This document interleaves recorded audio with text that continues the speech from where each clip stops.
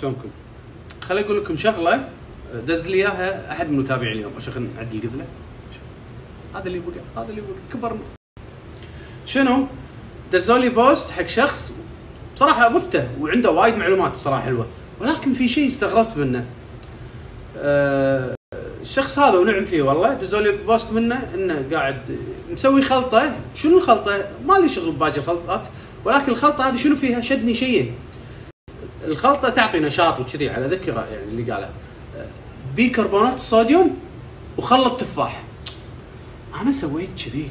حتى حطيت بالإنستغرام. يصير نشرب هذا مع هذا وإذا يصير أو ما يصير يذكر لي السبب.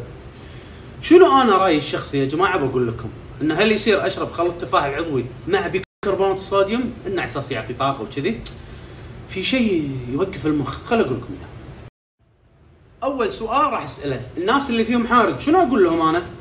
اخذوا خلط التفاح العضوي. ليش؟ عشان يزيد حموضة المعدة. ولما تزيد حموضة المعدة يعني الحين هذه المعدة زين؟ حمض المعدة كل يوم يطلع ويرد يرد يطلع ويرد. فإذا زاد آه، فلما يصعد حمض المعدة إذا كان مو قوي المريء ما يسكر عليه. فيطلع هني نسوي كذي. وإذا كان حمض المعدة قوي لما يطلع يحوش المريء المريء في سنسر. فالمريء يسكر على طول. عرفنا؟ إن حمض المعدة قوي واللي يزيده أكثر اللي هو خلط التفاح العضوي عشان شي قلت لكم إذا تاكلون آه، بروتينات أو منتجات مثلا فيها حديد مثل اللحم لازم تشربون آه، خلط التفاح العضوي ليش؟ لأنه يقوي حمض المعدة ويكسر الحديد ويكسر البروتينات. حلو هذا خلط تفاح حمضي حلو؟ حلو. وطول ما الأجواء بالمعدة حمضية مستحيل يدش ميكروب فايروس أو جرثومة معدة. حلو لأن البيئة الله سبحانه وتعالى خالقها كذي حمضية. واضح الحين؟ ما لي شغل بعد شيء، كل شيء واضح. خلصنا من خل تفاح، الحين نجي عند بيكربونات الصوديوم. ضاري جاوب. ضاري جاوب. بيكربونات ص- صوديوم حمضي ولا قلوي؟ شنو؟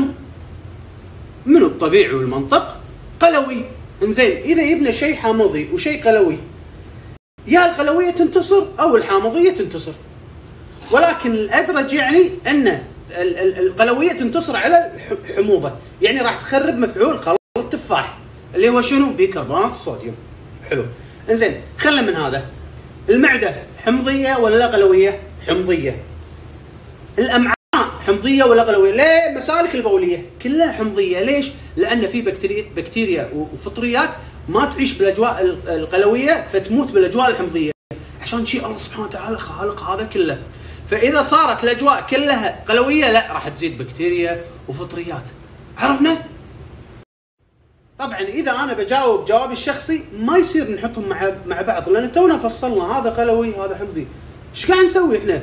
ليمكن نسوي كذي إذا بنسوي مختبر مثلا نشوف التفاعل قدامنا.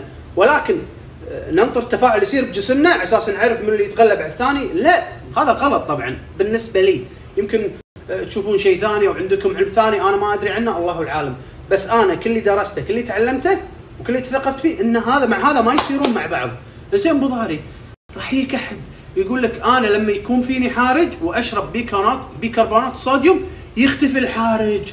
هذه النقطة لازم تعرفونها خل أفصلكم فيه شنو إيش فائدة البيكربونات الصوديوم مع الحارج؟ خلكم. الحين أقول لكم إيش علاقة البيكربونات الصوديوم مع الحارج شلون يختفي الحارج منه صدق يختفي الحارج إذا كان في حارج بيكربونات الصوديوم بس ما أنصحك تأخذه شوفوا الحين حمض المعده إذا كان ضعيف شنو يسوي؟ يصعد بالمريء، المريء ما يسكر إذا كان ضعيف، فيسوي لك حرقة بالمريء، واضح واضح. بيكربونات الصوديوم شو يسوي؟ الحين هو مو عندك حموضة بسيطة هي اللي تخرب، بيكربونات الصوديوم يقوم يقللها زيادة.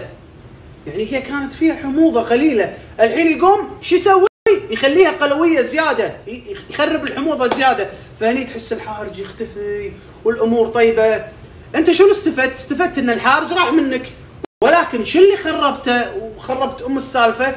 أن خليت من المريء للمعده الأجواء قلوية حيل هني فيروس يدش آه، آه، بكتيريا تدش جرثومة المعدة لو موجودة أول واحدة تدش ليش؟ لأن الأجواء هني صارت شنو؟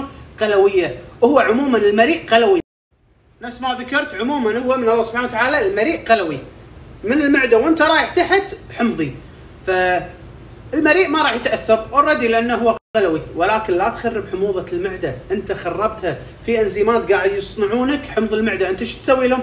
توقفهم فخربت شيء كبير وعظيم. وضروري جدا أصلا كل أمراضنا أصلا من حمض المعدة. بروتين مع الحديد يدش؟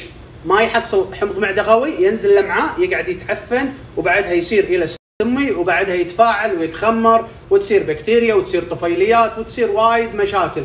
بعدها منو يتعب؟ يتعب الكبد لأن الكبد كل يوم ينطر فيتامينات معادن من اللي يدز له الامعاء الامعاء اليوم ما دزوا له شيء باكر ما دزوا له شيء. فالكبد ما يقدر يسوي كل وظائفه. خلصنا. بنصحكم نصيحة أخو. إنزين تبي تاخذ بالنصيحة خذها مثل ما اخذها قطها. كيفك؟ الناس اللي ما تدري اللي 24 ساعة تستخدم بيكربونات الصوديوم كل ما يحوش حارج يريح. انت شنو قاعد تسوي؟ قاعد تخرب أجواء المعدة. من حمضية قاعد تخليها قلوية. حلو. زين خليني أسوي لك اختبار تشوفه بجسم بنفسك. على اليوم أبيك تاكل أطعمة فيها حديد مثلا كليت لحم وكبده البقر وخذ معاهم اللي أنت تأخذه بيكربونات الصوديوم.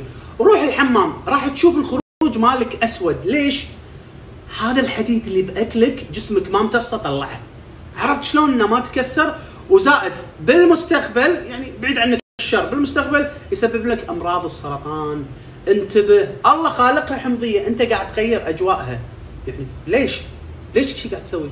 عشان توخر آه، الحموضة والارتجاع اللي يجي لك؟ عالج حاط مليون فيديو عشان العلاج هذا. وأنت كيفك؟